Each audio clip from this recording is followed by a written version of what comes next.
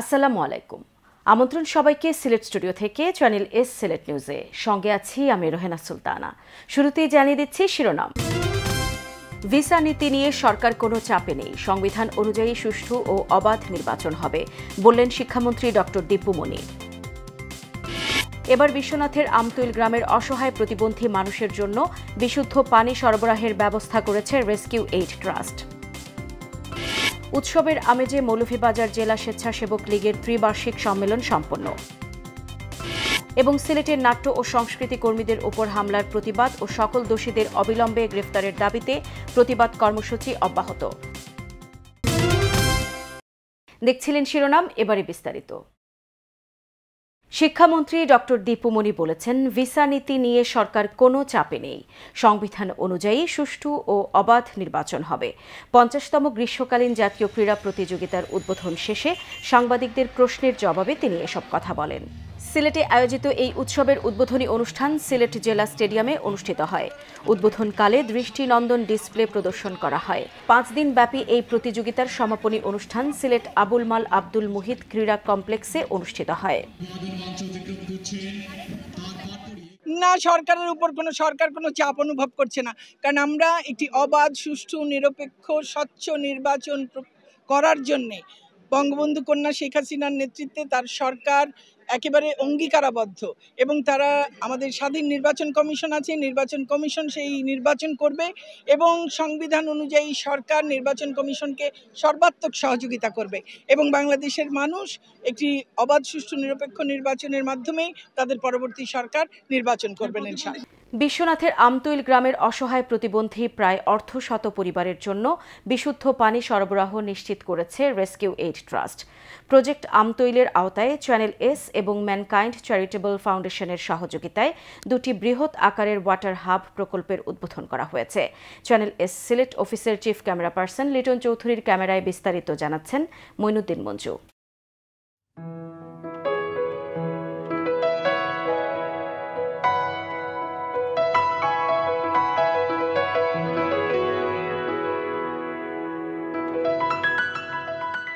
সোমবার বিকেলে আমতুল গ্রামের সবচেয়ে বয়স্ক শারীরিক প্রতিবন্ধী রায়হান মিয়া যখন আরেক প্রতিবন্ধী শিশু আবু বক্করকে নিয়ে প্রথম ওয়াটার হাবের উদ্বোধন করেন, তখন আশেপাশের পঁচিশ ত্রিশটি পরিবারের মাঝে ছড়িয়ে পড়ে আনন্দ, উচ্ছ্বাস। যুগের পর যুগ, বিশুদ্ধ পানির জন্য হাহাকার করা, এসব পরিবারগুলো এই ওয়াটার হাব পেয়ে যেন ঈদের দিনের মতো আনন্দে উদ্বেলিত ছিল। আল্লাহ দিয়েছেন মানে আপনারা খুশি করছে। তোরা জানে তো আল্লাহ ভালো। হবে বুঝছেন এই যে ডিপ আমরা পাইছি আল্লাহর হুকুম হইলে আমরা জীবনে এই ধরনের পাই নাই। ই পাওয়ায় আপনার যা খুশি হয়েছে আমরা তাই এটা হওয়ার মতন নাই। শান্তিতে যে এফুটা পানি আল্লাহ হুকুম হইলে আমরা যে খাইতাম পারব আপনার উচিল্লা কানে। আল্লাহ খুশি হয়েছেন আমরাও খুশি হয়েছি হলু আল্লাহ দিলাম আর আমরা নমাজ হইরা আপনারা লাগে দোয়া করম আমরা পানি খাই খুব খুশি হয়েছি আলহামদুলিল্লাহ। প্রতিবন্ধী ফারহানা ও ইয়াসমিনকে সাথে নিয়ে আমতুল গ্রামের দ্বিতীয় ওয়াটার হাবের উদ্বোধন করেন ফারহানার পিতা। ঘরের পাশে গভীর নলকূপের সাথে বৃহৎ পানির রিজার্ভার, সেই সাথে পানি সরবরাহ নিশ্চিত করার জন্য আনুষঙ্গিক সকল আধুনিক যন্ত্রপাতি সংযোজন করে দেয়ায় কৃতজ্ঞতার শেষ নেই এসব গরিব দুঃখী মানুষের। আমরা অন্য অন্য ওখান থেকে পানি খুঁজিয়ে আনজা খাইতাম তখন নিষেধ বাধা দিত মানছে। তবু আমরা আনছি গিয়া, নিষেধ বাধা মানছি না। ওখান আল্লাহ আল্লাহর হুকুম হয়েছে ওই আপনারা উচিল্লা আইছে পানি আমরা এই বাড়ির সব নিরাপত্তায় আমরা খাইমু আপনার লাগে আপনার তো লাগে দোয়া করমু। জিনাইলা খান আমরা প্রতিবন্ধী হলে পাইছি না আর এখন আমরা পাইয়া অনেক আনন্দিত হয়েছে অনেক সু- সুন্দর হয়েছে অনেক আনন্দিত হয়েছে দিয়া বড় ট্যাঙ্কে দিয়া দিছে আজ আল্লাহ আমরা দিছুন যে দেওয়া যারা দিছুন তারা যেন আল্লাহ দুনিয়াতে আখেরাতে বাসা বানাইন। সাময়িক সময়ের জন্য লোক দেখানো কাজ না করে দীর্ঘস্থায়ী এবং টেকসই প্রকল্প বাস্তবায়ন করায় স্থানীয় সুধিজনেরা এই কাজের ভূয়সী প্রশংসা করেন। পর্যায়ক্রমে গ্রামের মধ্যে আরও ওয়াটার হাব প্রকল্প বাস্তবায়নের তাগিদও দেন তারা। আসলে এটা লোক দেখানো কাজ নয়। এটা সত্যিকার অর্থে মানব মানবদরদি মানবতার কল্যাণে একটি কাজ। প্রতিবন্ধী যারা এরা শান্তিতে পানি খাইতে পারবে এবং গোসল করতে পারবে এবং তার নির্ধারিত সময়ে এই পানিটা ব্যবহার করতে পারবে এবং প্রতিবন্ধী ছাড়াও যারা আছে আপনারা তাদেরকে অনুমতি দিচ্ছেন তারা ওই পানিটা ব্যবহার করার জন্য। তারা অত্যন্ত আনন্দিত অথবা অত্যন্ত খুশি আপনারা রূপে। এই বিপদগ্রস্ত মানুষ এক তো প্রতিবন্ধী এছাড়াও এই পানি শুধু প্রতিবন্ধী না এই এলাকার এই আশেপাশে অনেকগুলা ঘর আছে। অনেক মানুষ গরিব যারা নাকি নিজেরা টিবল বইবার সামর্থ্য নাই। তারা এই পানি খাওয়ার থেকে উপকৃত হইব। বিশ্বনাথের রামপাশা ইউনিয়নের আমতল গ্রামের অস্বাস্থ্যকর পরিবেশে বসবাসরত প্রায় চারশো প্রতিবন্ধীর দুর্বিষহ জীবনযাপন নিয়ে চ্যানেল এস একাধিকবার রিপোর্ট প্রচার করে। এক পর্যায়ে চ্যানেল এস এবং রেস্কিউ এইড ট্রাস্টের ফাউন্ডার মাহি ফেরদোস জলিল তাদেরকে সাহায্য করার উদ্দেশ্যে গঠন করেন প্রজেক্ট আমতৈল। এই প্রজেক্টের আওতায় একাধিক পরিবারকে ঘর নির্মাণ করে দেয়া হয়েছে এবং এখন শুরু হয়েছে ওয়াটার হাব নির্মাণ করে প্রতিবন্ধী পরিবারের জন্য বিশুদ্ধ পানি সরবরাহ নিশ্চিত করা। আলহামদুলিল্লাহ। আজকে এই প্রতিবন্ধী শিশু ফারহানা এবং ইয়াসমিনের পরিবারের জন্য খুশির দিন, কারণ তারা আজকে এই বিশুদ্ধ পানি ঘরের পাশেই বসে পান করতে পারছে। কিন্তু এই শিশু দুটির মতো আরও অসংখ্য প্রতিবন্ধী শিশুর পরিবার এই আমতৈল গ্রামে পানির জন্যে হাহাকার করছে। বিশুদ্ধ পানির জন্যে কীরকম নিদারুণ কষ্ট করছে এই পরিবারগুলো তা কেউ না আসলে বিশ্বাস করবেন না। আপনারা প্রবাসীরা দয়া করে এইসব অসহায়, প্রতিবন্ধী শিশুর পরিবারের জন্য এরকম সুন্দর ওয়াটার হাব প্রকল্প তৈরি করতে উদার মনে সাহায্য করুন। Moinuddin Manju channel S news Sylhet BNP chairperson সাবেক প্রধানমন্ত্রী বেগম খালেদা জিয়ার নিঃশর্ত মুক্তির দাবিতে ও সুনামগঞ্জের কৃতি সন্তান যুক্তরাজ্য বিএনপির সাধারণ সম্পাদক কয়সর এম আহমদ বিএনপির কেন্দ্রীয় নির্বাহী কমিটির সদস্য মনোনীত হওয়ায় অভিনন্দন জানিয়ে জগন্নাথপুর ও শান্তিগঞ্জ জাতীয়তাবাদী ফোরামের উদ্যোগে সিলেট নগরীতে মিছিল অনুষ্ঠিত হয়েছে। মিছিলটি নগরীর কোর্ট পয়েন্ট থেকে শুরু হয়ে কেন্দ্রীয় শহীদ মিনারে গিয়ে সংক্ষিপ্ত সমাবেশ অনুষ্ঠিত হয়। সমাবেশে প্রধান অতিথির বক্তব্যে সিলেট মহানগর বিএনপি সভাপতি নাসিম হোসেন বলেন, দেশনেত্রী বেগম খালেদা জিয়াকে অবিলম্বে নিঃশর্ত মুক্তি দিয়ে সুচিকিৎসা নিশ্চিত করতে হবে। বেগম জিয়ার মুক্তি ছাড়া দেশে কোনো নির্বাচন হবে না। যুক্তরাজ্য বিএনপির সাধারণ সম্পাদক কয়সর এম আহমেদ, বিএনপির কেন্দ্রীয় নির্বাহী কমিটির সদস্য মনোনীত হওয়ায় সিলেট বিএনপির পক্ষ থেকে তিনি অভিনন্দন জানান। জগন্নাথপুর শান্তিগঞ্জ জাতীয়তাবাদী ফোরামের আহ্বায়ক তোফাজ্জল হোসেন বেলালের সভাপতিত্বে ও সদস্য সচিব এমদাদুল হক স্বপনের পরিচালনায় বিশেষ অতিথির বক্তব্য রাখেন সিলেট জেলা বিএনপির সাধারণ সম্পাদক অ্যাডভোকেট এমরান আহমদ চৌধুরী, মহানগর বিএনপির সাধারণ সম্পাদক ইমদাদ হোসেন চৌধুরী। বক্তব্য রাখেন সিলেট জেলা বিএনপির সহ সভাপতি হাজি গোলাম রাব্বানী, মহানগর বিএনপির সাবেক যুগ্ম আহ্বায়ক নজিবুর রহমান নজির, জেলা বিএনপির যুগ্ম সম্পাদক অ্যাডভোকেট হাসান আহমদ পাটোয়ারি রিপন, সিদ্দিকুর রহমান পাপলু, আনোয়ার হোসেন মানিক, জেলা স্বেচ্ছাসেবক দলের সদস্য সচিব শাকিল মোর্শেদ, জেলা ছাত্র দলের সাধারণ সম্পাদক দেলওয়ার হোসেন দিনার। দেশে বর্তমানে প্রকৃত রাজনীতি খুঁজে পাওয়া যায় না বলে মন্তব্য করেছেন সাবেক তত্ত্বাবধায়ক সরকারের উপদেষ্টা ও মানবাধিকার সংস্কৃতি ফাউন্ডেশনের নির্বাহী পরিচালক সুলতানা কামাল। তিনি বলেছেন, রাজনীতিকেরা নীতি নির্ধারণ করেন, কিন্তু কোনো রাজনীতিক নেই যার কাছে গেলে জনগণের ভাবনার কথা বলা যাবে এবং সেটি বাস্তবায়ন করা হবে। বিশ্ব পর্যটন দিবস উপলক্ষে সিলেট নগরের মীরাবাজার এলাকার একটি অভিজাত হোটেলের সম্মেলন কক্ষে আয়োজিত নাগরিক ভাবনা শীর্ষক সভায় প্রধান অতিথির বক্তব্যে তিনি এসব কথা বলেন। হাওড় টিলা বন রক্ষা করে পর্যটন বিষয়কে সামনে রেখে ওয়াটার কিপার্স বাংলাদেশ, বাপা এবং পরিবেশ ও ঐতিহ্য সংরক্ষণ ট্রাস্ট সিলেট এই সভার আয়োজন করে। সুলতানা কামাল আরও বলেন, দেশে পর্যটন কেন্দ্রগুলোতে অপরিকল্পিতভাবে স্থাপনা নির্মাণ করা হয়েছে, যা পরিবেশের উপর বিরূপ প্রভাব ফেলছে। সভায় পরিবেশ ও ঐতিহ্য সংরক্ষণ ট্রাস্টের ট্রাস্টি জেরিনা হোসেনের সভাপতিত্বে মুখ্য আলোচকের বক্তব্য রাখেন ওয়াটার কিপার্স বাংলাদেশের সমন্বয়ক শরীফ জামিল। বিশেষ অতিথির বক্তব্য রাখেন সিলেট মেট্রোপলিটন ইউনিভার্সিটির উপাচার্য মোহাম্মদ জহিরুল হক। বাপা সিলেটের সাধারণ সম্পাদক আব্দুল করিম চৌধুরীর সঞ্চালনায় সভায় বক্তব্য রাখেন সিলেট প্রেস ক্লাবের সভাপতি ইকবাল সিদ্দিকী বাপা সিলেটের সভাপতি জামিল আহমদ চৌধুরী সহ সভাপতি নাজিয়া চৌধুরী এবং উদিচি সিলেটের সভাপতি এনায়েত হোসেন মানিক। তো এই যে উন্নয়নের সুফলের কিন্তু নানা মাত্রা আছে নানা দিক আছে এগুলি আমাদেরকে চিন্তা করতে হবে। করতে করতে কোথায় আমরা যেতে পারি? ওই নীতি নির্ধারণের জায়গায়। যে যারা উন্নয়নের নীতি নির্ধারণ করছেন, তারা কি ভেবে উন্নয়নটা করছেন? কাদের সুবিধা দেওয়ার জন্য করছেন? কীভাবে সুবিধা দেওয়ার জন্য করছেন? এবং সেই সুবিধাটা যা যে সুবিধাভোগীদের জন্য করা হচ্ছে, তারা যাতে পায়, সেটা কীভাবে করবেন? তো সেটা যদি করতে হয়, পরিবেশের দিকে তো লক্ষ্য রাখতেই হবে। যে আগে তো কিছু রাজনীতিক খুঁজে পেতাম, বাসদের, আমাদের সদস্য একজন আছেন, আপনার কাছে ক্ষমা চেয়েই বলছি উইথ ডিউ রেসপেক্টই বলছি, রাজনীতিক তো নাই। নীতি নির্ধারণ তো করবেন রাজনীতিকরা, আমরা রাজনীতিকই বলি। কোথায় রাজনীতিক আমাদের? কোন রাজনীতিকের কাছে যাব? একটা নাম বলেন তো যে কাছে গেলে এই কাজটা আমাদের হবে। একটা মানুষের কথা বলেন। উপজেলা চেয়ারম্যান থেকে শুরু করে মেয়রের কথা বলেন, এমপির কথা বলেন, মন্ত্রীর কথা বলেন। খালি বলেন যে, আপা, হবে, ওই মানুষটার কাছে যান, হবে, আমি যেতে রাজি আছি। একটা নাম দেন আমাকে। কেউ দিতে পারবেন না। আমাদের কোনো মানুষ নাই সেখানটায়। জোরের কথা আছে হ্যাঁ জোর আমাদের বাড়াতে হবে, সেটাতে কোনো সন্দেহ নাই। তবে তাদের সদিচ্ছাটা কীভাবে বার করা যায়, সেটাও আমাদেরকে চেষ্টা করতে হবে। সিলেট নিউজে নিয়ে নিচ্ছি ছোট্ট একটা বিরতি। আমাদের সঙ্গেই থাকুন, ফিরে এসে অন্যান্য খবরের সাথে আরও যা থাকছে। উৎসবের আমেজে মৌলভীবাজার জেলা স্বেচ্ছাসেবক লীগের ত্রিবার্ষিক সম্মেলন সম্পন্ন। এবং সিলেটের নাট্য ও সংস্কৃতি কর্মীদের উপর হামলার প্রতিবাদ ও সকল দোষীদের অবিলম্বে গ্রেফতারের দাবিতে প্রতিবাদ কর্মসূচি অব্যাহত।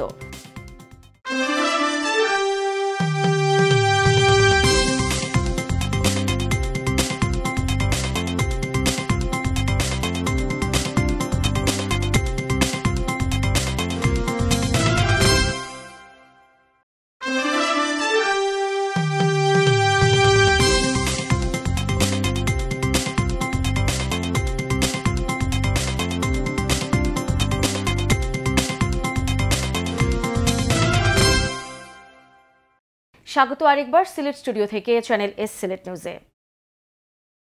উৎসবের আমেজে মৌলভীবাজার জেলা স্বেচ্ছাসেবক লীগের ত্রিবার্ষিক সম্মেলন সম্পন্ন হয়েছে। জেলা স্বেচ্ছাসেবক লীগ আয়োজিত এই সম্মেলন মৌলভীবাজার সরকারি হাই স্কুল মাঠে অনুষ্ঠিত হয়েছে।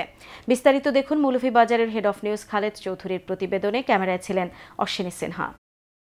মৌলভীবাজারের সরকারি স্কুল মাঠে বাংলাদেশ আওয়ামী স্বেচ্ছাসেবক লীগ মৌলভীবাজার জেলা শাখার আহ্বানে মৌলভীবাজার জেলা স্বেচ্ছাসেবক লীগের ত্রিবার্ষিক সম্মেলন অনুষ্ঠিত হয়েছে। অনুষ্ঠানের শুরুতে পতাকা উত্তোলন ও বেলুন উড়িয়ে অনুষ্ঠানের শুভ উদ্বোধন করা হয়। পরবর্তীতে দেশাত্মবোধক নাচ ও গান পরিবেশন করা হয়। উক্ত অনুষ্ঠানে মালয়াদের জেলা স্বেচ্ছাসেবক লীগের সভাপতি মোহাম্মদ নজমুল হকের সভাপতিতে উদ্বোধক হিসেবে উপস্থিত ছিলেন বাংলাদেশ আওয়ামী স্বেচ্ছাসেবক লীগের সভাপতি গাজী মেজবাউল হোসেন সাচ্চু। প্রধান অতিথি হিসেবে উপস্থিত ছিলেন আওয়ামী লীগের যুগ্ম সাধারণ সম্পাদক আফম বাহাউদ্দিন নাসিম। প্রধান বক্তা হিসেবে উপস্থিত ছিলেন স্বেচ্ছাসেবক লীগের সাধারণ সম্পাদক A K M আফজলুর Rahman Babu. বিশেষ অতিথি হিসেবে উপস্থিত ছিলেন সাংগঠনিক সম্পাদক আহমদ হোসেন শফিল আলম চৌধুরী নাদেল, মলিদা তিন আসনের মাননীয় সাংসদ নেসার আহমদ, জেলা পরিষদের চেয়ারম্যান আলহাজ মিসবাউর রহমান, পৌর মেয়র মোহাম্মদ ফজলুর রহমান, উপজেলা চেয়ারম্যান মোহাম্মদ কামাল হোসেন, বাংলাদেশ আওয়ামী স্বেচ্ছাসেবক লীগের সহসভাপতি সুব্রত পুরকায়স্থ, আলহাজ মুবাশির চৌধুরী, কৃষিবিদ আফম মাবুল হাসান, দেলার হোসেন সহ মৌলিবাজারের বিভিন্ন রাজনৈতিক অঙ্গনের নেতৃবৃন্দ। জেলার বিভিন্ন উপজেলা থেকে দলে দলে এসে সম্মেলনে যোগ দেন।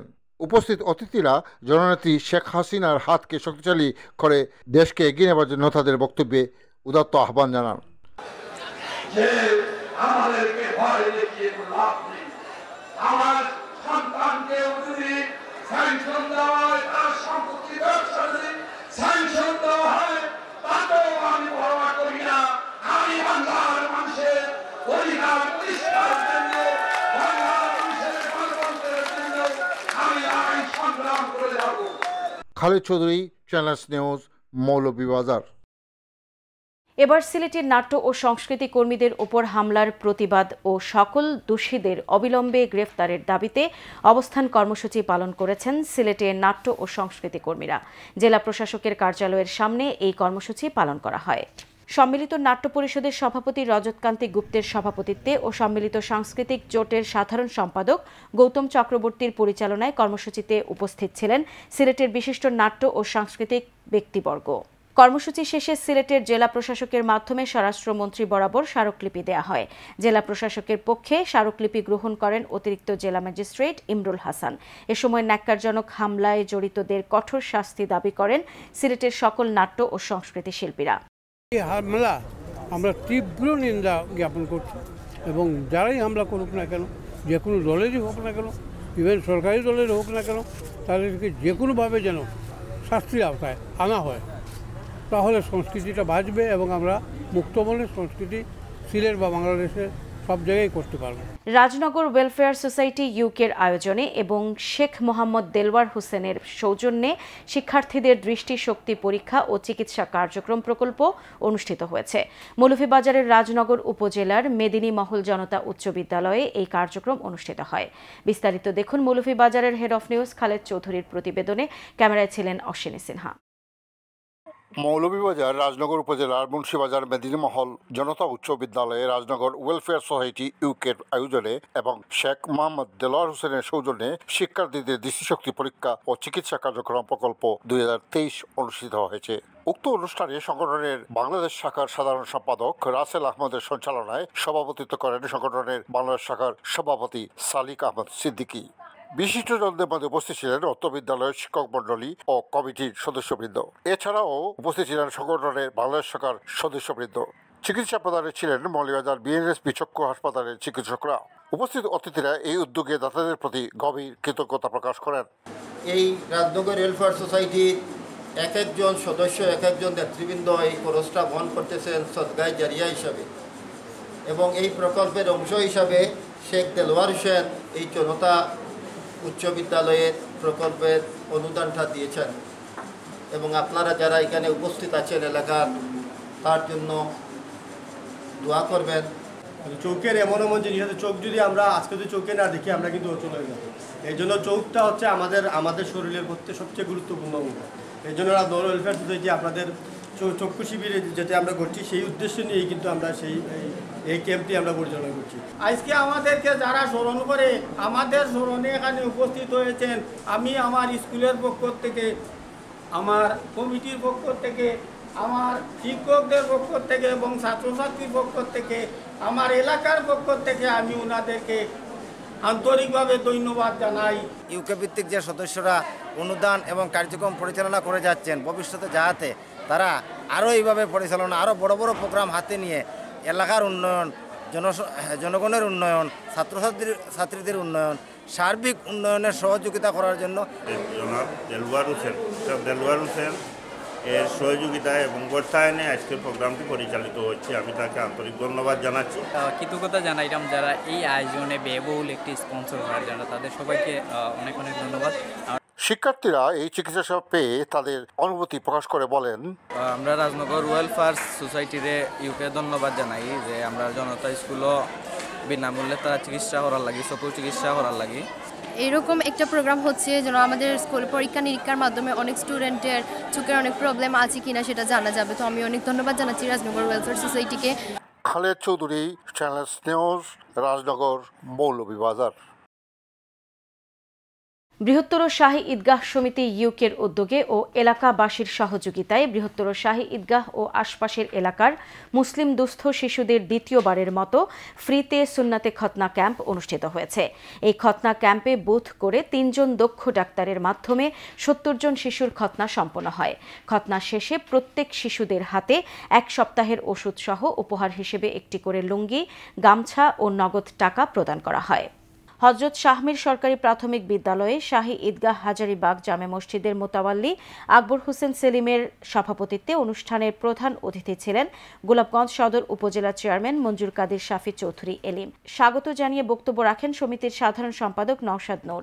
বিভিন্ন সামাজিক কর্মকাণ্ডের পাশাপাশি ফ্রিতে সুন্নতে খতনা ক্যাম্পিং প্রতি বছর করা হবে বলে তিনি জানান। আরও বক্তব্য রাখেন এলাকার প্রবীণ মুরব্বী আব্দুল নূর, সাংবাদিক Abdul Malik Zaka, councillor Shawkat Amin Tauhid, advocate Shamsul Islam, councillor Rezwan Ahmed, Gulzar Ahmed, Fazlu Haque, Faruk Ahmed, Nazmul Islam Ehiya Qutubuddin Rajan Mia, Shamsuzzaman Shawkat, Milad Noor, Saidur Rahman Hiru, Sajjad Hossain, Abu Taher, Rasel, Suhag, Sami সহ আরও অনেকে। সিলেট নিউজ আজ এই পর্যন্তই। সিলেট বিভাগের প্রত্যন্ত অঞ্চলের খবর জানতে চোখ রাখুন চ্যানেল এস এর পর্দায়। সবাইকে ধন্যবাদ এতক্ষণ সঙ্গে থাকার জন্য। আল্লাহ হাফেজ।